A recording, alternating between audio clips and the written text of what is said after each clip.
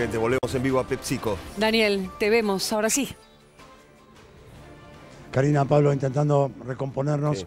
de la situación de tensión que estamos viviendo en esta planta. Estamos con Nicolás del Caño, dirigente de izquierda. Bueno, eh, Nicolás, ¿qué, qué pasó? Te vemos también tener los efectos en la cara, igual que, que nosotros, digo, de, Sí, igual que de todos estos líquidos, ¿no? Igual que ustedes, todos estos gases, los palos, las balas de goma, realmente brutal la represión que envió María Eugenia Vidal, Mauricio Macri, a trabajadores y trabajadoras que estaban aquí defendiendo su fuente de trabajo. Son trabajadores y trabajadoras que no quieren una indemnización que se les va a terminar rápidamente, que quieren defender su fuente de trabajo. Ante esta situación fuimos a hablar con la jueza. Las trabajadoras le enviaron una carta a la gobernadora María Eugenia Vidal, se negaron a recibirlas, nosotros los acompañamos este, a hablar con la jueza, no quiso recibir a las trabajadoras, verdaderamente una vergüenza y esto es gravísimo lo que ha hecho el gobierno, como en las épocas de la dictadura, verdaderamente avanzar de esa manera con, con brutal represión y bueno, ustedes y nosotros tenemos... Nicolás, estamos viendo que eh, la policía y la gendarmería están intentando tomar el techo de la planta donde resisten los trabajadores. Sí, allí están los trabajadores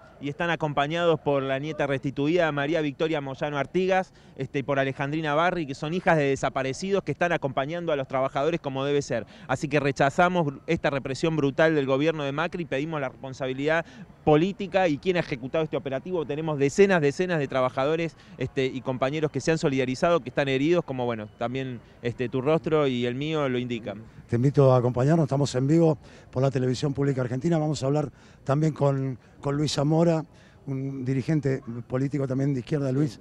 Bueno, tremendo, tremendo lo que estamos viviendo. Sí, sí, tremendo. Sí, bueno, lo, lo habrán visto recién a. Nicolás, a- afectado a- por- a Del Caño, sí. Por los gases como nosotros, Este, otros colegas. Eh, Mire, eh, todos los días ustedes. acá cámara. Todos Luis, los por días favor. ustedes informan los corruptos y delincuentes que hay en las instituciones, en los gobiernos, en, la- en el Congreso, en la justicia.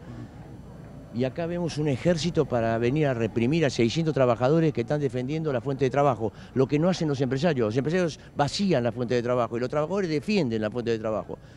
¿A dónde manda el gobierno su aparato represivo? A, a- a desalojar 600 trabajadores.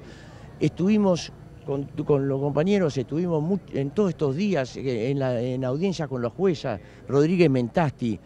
La nombramos, Rodríguez Mentasti, tenía todos los elementos, entrevistó trabajadoras, le explicaron los años de trabajo que tenían acá, los hijos, madres solteras, saben que salen de acá y no consiguen más lugar, está la economía cerrándose, cada vez es más difícil, no es que acá se sale y se consigue. O sea, eh, en el Ministerio de Trabajo se fue a, a Triaca, se le tenía los elementos legales, la empresa es una multinacional, no hay forma de que demuestre que tiene crisis. Y si lo demostrara, tendría que demostrarlo en el Ministerio de Trabajo, en complicidad con la empresa. Triaca se negó a, a- a- a exigirle que demostrara por qué razón despedía a 600 trabajadores, si es que puede haber razones para eso, ¿no? Eh, Zamora, estamos en vivo Hay por la televisión. detenidos, pública. hay heridos. Estamos en vivo por la televisión pública para todo el país. Les pido una reflexión a usted, a Nicolás del Caño. Digo, la empresa dice que no hay marcha atrás, que eh, esta planta cierra, que acepten la indemnización, la indemnización. La gente dice, bueno, ¿a dónde vamos, no?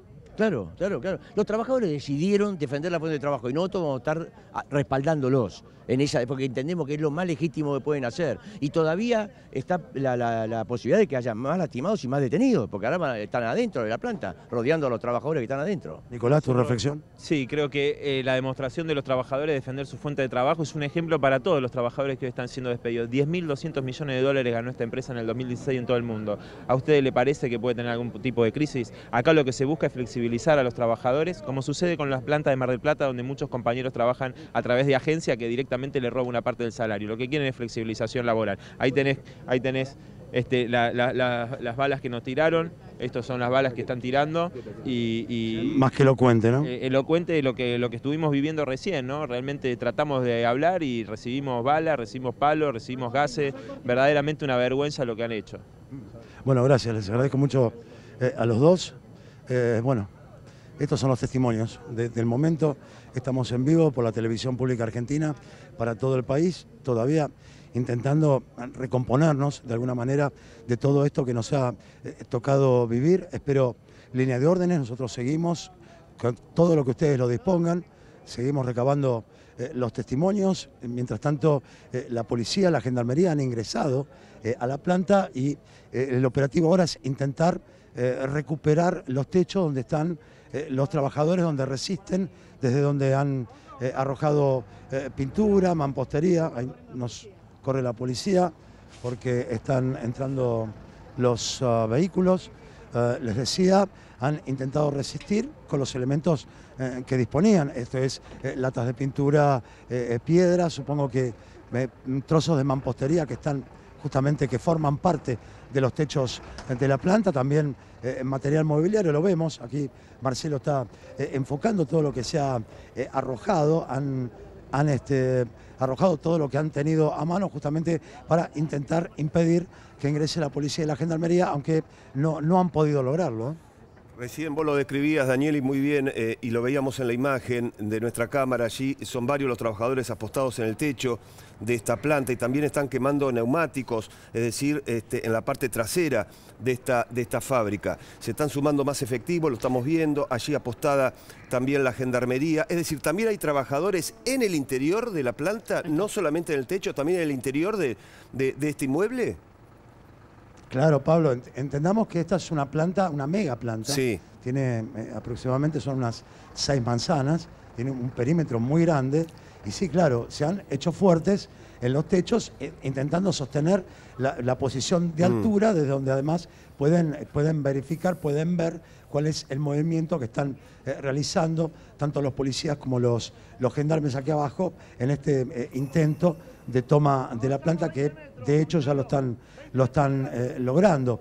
Eh, te decía, sí, el número de efectivos es muy grande, efectivos de todo tipo, eh, mucha, mucha policía de la provincia de Buenos Aires, muchos gendarmes, mucho personal femenino también, intentando tomar la planta. Vamos a hablar, a ver, me acerco a Cristian Castillo. Hay dirigentes, efectivamente. la reflexión de esto. Una reflexión, el gobierno de, Vidal y Macri ordenando una represión brutal contra trabajadoras y trabajadores que lo único que están haciendo es defender su puesto de trabajo.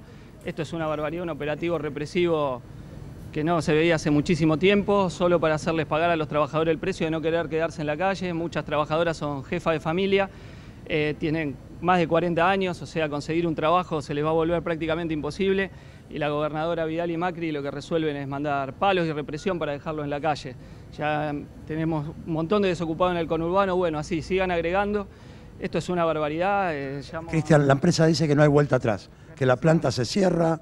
¿Qué hacen los trabajadores? La empresa quiere reabrir la planta después con gente flexibilizada, esa es la realidad, por eso se apuró tanto el desalojo con una jueza amiga que fue nombrada de la mano de Cambiemos, no nos olvidemos, en diciembre del año pasado eh, expareja del diputado provincial Walter Caruso y de la mano de Pose están las fotitos cuando asumió, así que no es ninguna jueza imparcial, sino una jueza digitada que está actuando por una orden política del gobierno con un argumento absurdo que desalojan por la planta contaminante, es una barbaridad, eso lo haría cuando estaba produciendo con PepsiCo, hoy los trabajadores están, insisto, defendiendo su puesto del trabajo.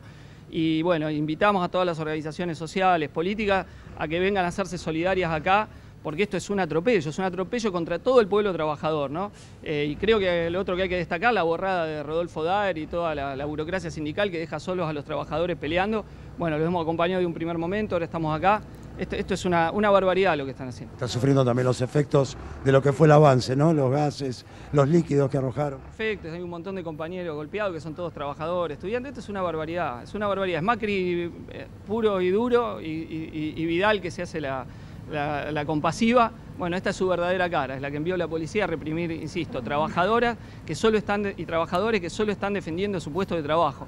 Eso parece que en Argentina es un delito querer mantener el puesto de trabajo y no querer estar en la calle para tener que vivir de changa o planes sociales. Muchas gracias.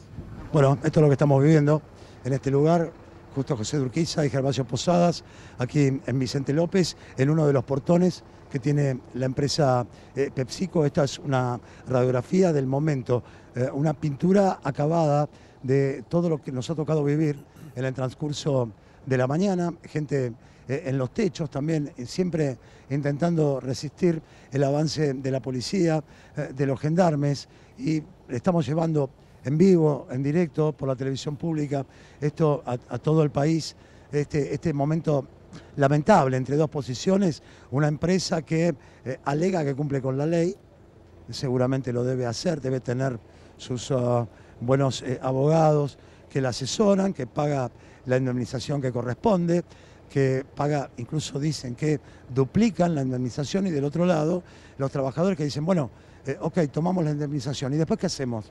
Son más de 600 familias que se quedan en la calle y por el momento, al menos, sin posibilidad de reinsertarse en el mercado laboral. Este es el foco del conflicto que estamos viendo en este momento acá. Los uh, oficiales de la policía, los gendarmes cumpliendo con la orden de la jueza Rodríguez Mentasti que ordenó en el día de la fecha desalojar la planta lo están haciendo y lamentablemente tuvimos que vivir estas escenas que desearíamos que no se dieran, por cierto, en la República Argentina. Cuestiones logísticas y operacionales, alega la empresa, que son inviables. Pero claro, hasta llegar a este punto hubo cuestiones judiciales que podemos repasar porque los trabajadores le habían pedido a la jueza de San Isidro, número 3, Andrea Rodríguez Mentaste, que no aprobara el pedido del fiscal Gastón Larramendi de desalojar la planta. Esto lo había pedido el viernes, el desalojo de la planta de la Florida. Y la jueza dio lugar.